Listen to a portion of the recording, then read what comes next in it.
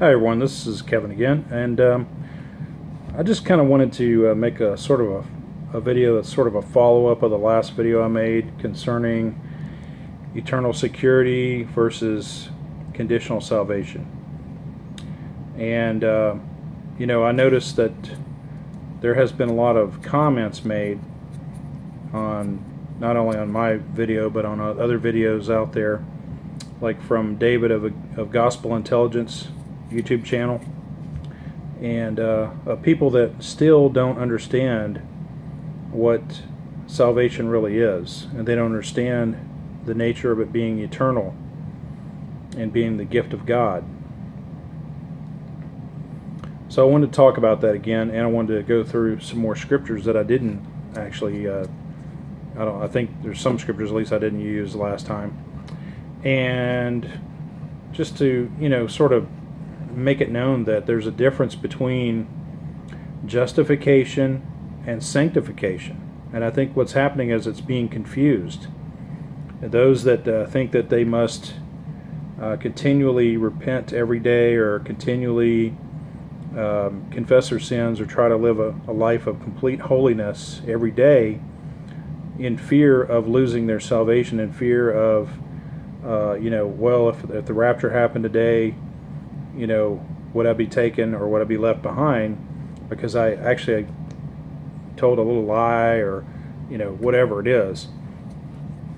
Or maybe I got angry in the flesh and, and it wasn't a righteous anger or, or something like that. I don't think that, for the most part, those of us who know Lord, the Lord Jesus Christ, those of us who are truly born again believers in Jesus Christ, I don't think that we're, you know, going forth and on purpose, willfully trying to commit sin uh, on a daily basis. I just don't see that happening. once you turn away from sin, once you get saved, uh, you turned in a different direction. You turned away from sin. You turned to made a 180 degree turn. That's what repent means: is to change your mind, and it means to you know turn away from.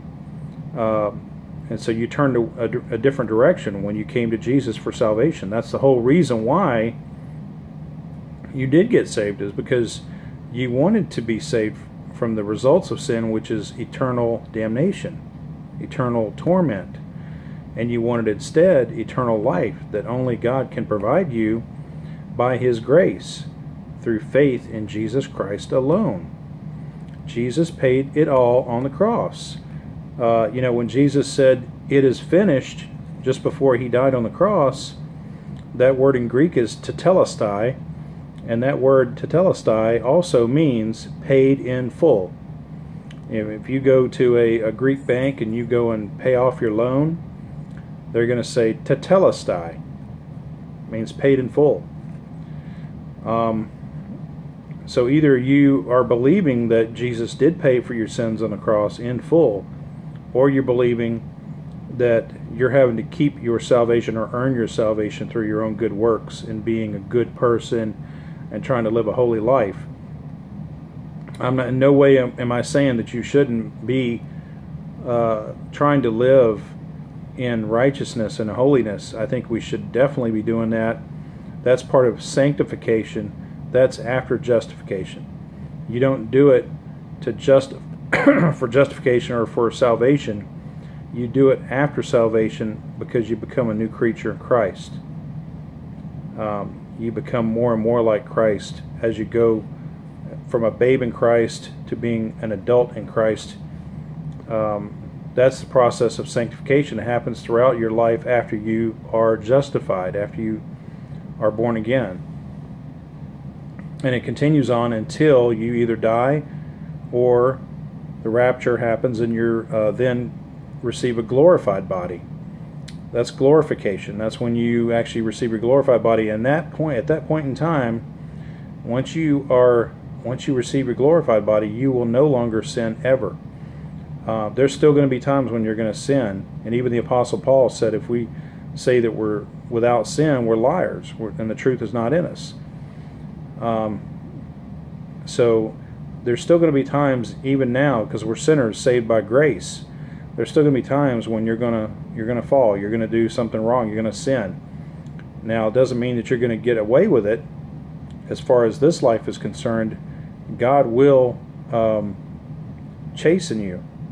Uh, he, you know, he's he chastens his sons. He chastens those of us who are his children. You know, just as you, uh, if you're a parent, would chasten your son or daughter when they do something wrong. You don't disown them. Uh, you just chasten them. You try to teach them, no, you don't need to do that. That's wrong. What you just did. Uh, you chasten them. So I want to just I want to just go through a few scriptures here that uh, I had opened up uh, the book of Romans, and Romans has a lot to say about salvation, and uh, so does Ephesians and Galatians. But right here in Romans chapter three, there's a lot in chapter three alone, and in chapter four. Okay, so right here in chapter 3, verses 10, starting in verse 10, going through 12, it says, As it is written, There is none righteous, no, not one. There is none that understandeth, there is none that seeketh after God. They are all gone out of the way, they are together become unprofitable. There is none that doeth good, no, not one. So there you go, showing that only Jesus, Jesus was the only one who lived a completely sinless life. There's none of us can live a completely sinless, sinless life, even after you get saved. Okay? There's none that doeth good, no, not one. All right, so then right after that in verse 20, we see, Therefore, by the deeds of the law, there shall no flesh be justified in his sight, for by the law is the knowledge of sin. Okay, so by the deeds of the law, you can't be justified. No flesh shall be justified in his sight by the deeds of the law. Why? Because you can't keep the law in its entirety. It's impossible for us to keep the law. You might be able to keep some of the law, but you can't keep all of it. And uh, and then down in verse 23 through 25 it says, "For all have sinned and come short of the glory of God, being justified freely by His grace through the redemption that is in Christ Jesus, whom God hath set forth to be a propitiation through faith in His blood, to declare His righteousness for the remission of sins that are past through the forbearance of God." Okay, so um, there you go again. The propitiation the payment for sin was in his blood. His blood was shed to pay for our sins. When we put our faith in Jesus Christ, believing that he paid for our sins by shedding his blood on the cross, that he was the Passover Lamb of God, and he was God in the flesh, the perfect payment for sin, we put our faith in him and we are washed away. Our sins are washed away at that point. So, uh, down here um, in verse 28 of also chapter 3. Therefore, we conclude that a man is justified by faith without the deeds of the law. Okay, you're justified by faith. Now, uh, in chapter 4, he continues on, he's talking about Abraham. Okay, um, I'm just starting verse 1. What shall we say then? that Abraham our father, as pertaining to the flesh, hath found. For if Abraham were justified by works, he hath whereof to glory, but not before God. For what saith the Scripture? Abraham believed God, and it was counted unto him for righteousness. Okay? So, um, saying there again that Abraham, because of his faith, it was counted to him for righteousness not not his works or his, you know not his uh, good deeds or anything, but but his faith in God. Okay, and then in verse five it says, "But to him that worketh not, but believeth on him that justifieth the ungodly, his faith is counted for righteousness." Okay, now I'm going to go to. Um, I'm going to go to. Uh, let's see, chapter 5, verse 1.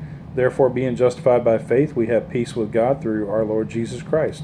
I think you probably already knew that, but uh, also in chapter 5, verse 9. Much more than being now justified by his blood, we shall be saved from wrath through him. In um, verse 6, I mean in ch- chapter 6, uh, now this is uh, starting in verse 1 through 4. And this has to do with, now I know that a lot of people are going to say, you know, uh, if you believe in this easy, believism and everything, that uh, you believe you can just go on and keep on sinning and everything's okay and you're still saved and everything. But um, here's what it has to say right here. But because we, we know that still we're being justified by our faith. Okay, it's by grace through faith. Okay, but uh, here goes in, in starting in verse 1 of chapter 6. What shall we say then? Shall we continue in sin that grace may abound? God forbid. How shall we that are dead to sin live any longer therein? Know ye not that so many as were as so many of us as were baptized into Jesus Christ were baptized into his death? Therefore we are buried with him by baptism unto death, that like as Christ was raised up from the dead by the glory of the Father, even so we also should walk in newness of life. So that's kind of actually uh, talking about the purpose of baptism.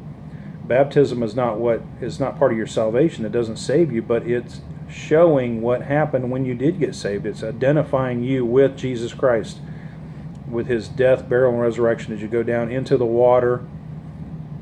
And it's like you're you know going down into the water is the death, in the water, burial, coming back up is being is the resurrection, being raised up into newness of life. Okay, um, in verse 14 of chapter 6 says, For sin shall not have dominion over you, for ye are not under the law, but under grace. What then shall we sin because we are not under the law, but under grace? God forbid. Now, it's not, there again, not giving people a license to sin because you're saved by grace through faith, but if you do sin, um, you will be chastened, like I said before. There will be consequences of sin in this life. But it does not take away your eternal life. Because once you receive eternal life, you're sealed by the Holy Spirit until the day of redemption. Okay? Um, and there again, at the, the, the end of this, you probably read this before too. Uh, verse 23 For the wages of sin is death, but the gift of God is eternal life through Jesus Christ our Lord. There again, saying again that it's the gift of God. It's simply a gift. You receive a gift, you don't earn a gift. Okay? Um, I'm going to go to, once again, I've been here before, but I'm going to Ephesians chapter 2.